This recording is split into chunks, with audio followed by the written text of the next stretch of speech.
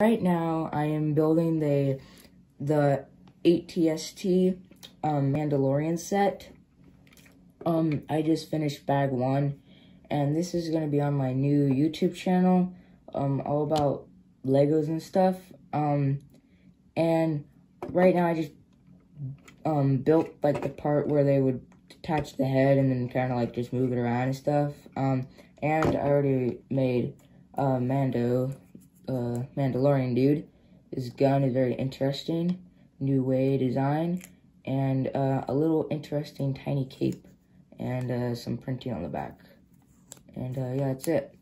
Anyways, um, and I will do bag two, three, and four all in this video right about now.